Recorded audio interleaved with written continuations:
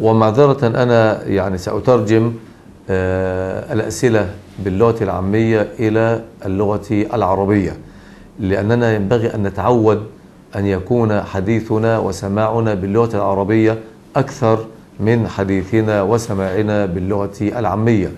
ينبغي أن نميز لغة العلم والدعوة عن لغة السوق يعني الذين يبيعون على العربية الكرو والذين يفترشون الشوارع لبيع البطاطا والطماطم وغير ذلك مع احترامنا للجميع لابد أن يكون خطابنا متميزا عن ذلك الخطاب لا سيما أن القرآن بلسان عربي مبين.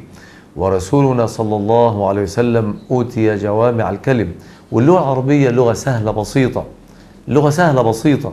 يعني آه يعني نحاول أن نجتهد في ذلك الأمر. وأقص عليكم قصة ظريفة.